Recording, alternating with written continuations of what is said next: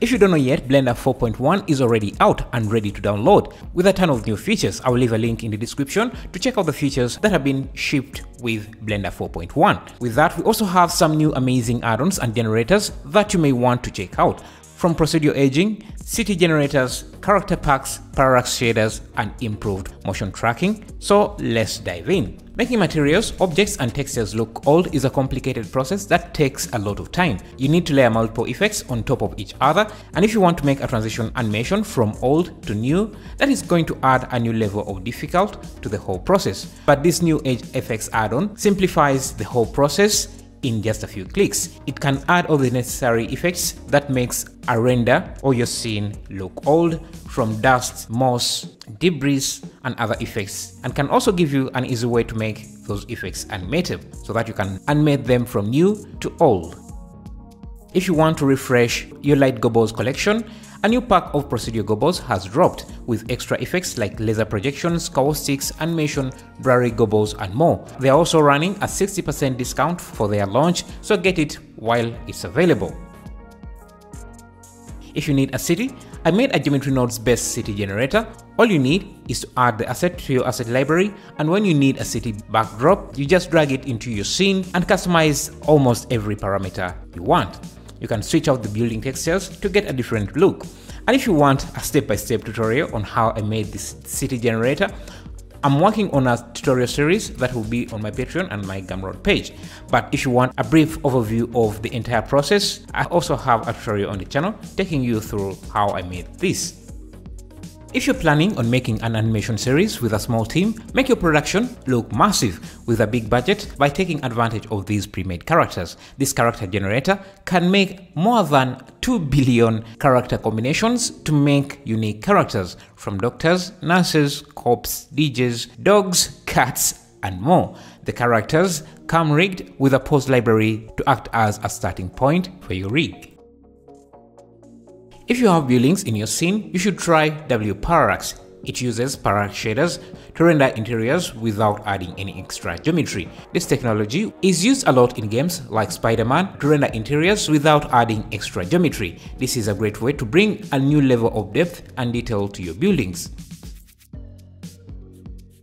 There is no reason why your cities should be empty. Before add-ons, it was understandable because making cars was hard, animating cars was also hard, and simulating realistic traffic was almost impossible. But with new add-ons like Procedure Traffic, you get everything in a single package. You get hundreds of cars, fully rigged and animated, and the add-on also handles the traffic simulation itself. All you have to do is set up the roads and the add-on will do the rest.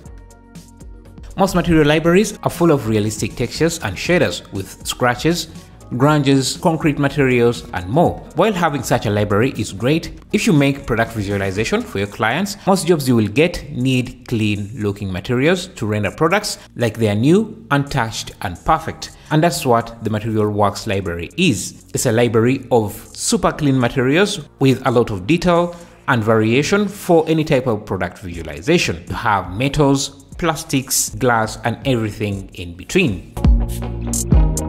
They say a bad workman blames his tools, but sometimes bad tools are to blame. You can't replace a spade or a shovel with a spoon and expect the same results. You can't expect a graphics card from 2007 to produce the same results as, as an RTX 4090 Ti.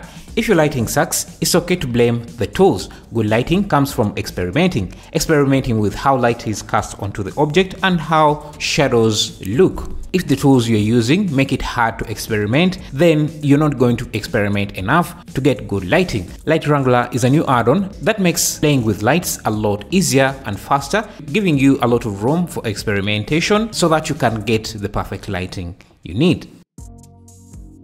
Blender has always had great systems like a good smoke simulator, a great physics system, and a great cloth system. What it lacks is great tools to help artists in using these systems. Motion tracking in Blender seems easy to use until you want to track a lengthy shot or a fast flying drone shot, where tracking points move out of the scene really quickly. The automatic features that come built in don't work really well here for this case, and since you need a lot of tracking point, it is going to become a tough job. This is what the new Flaxtrax automated camera tracking add-on came to solve. It is built on top of the Blender motion tracking system, enhancing it and giving artists all the necessary tools to create the best track possible, whether it's a drone shot, fast moving shot, or basically anything you want.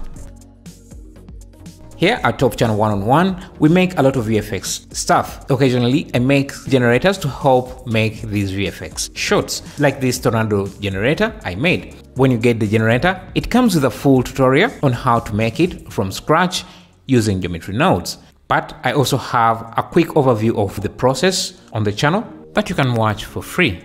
Speaking of procedural things, here is another amazing generator that generates procedural rocks. You can change a lot of parameters and it also comes textured with realistic rock materials. See you in the next video.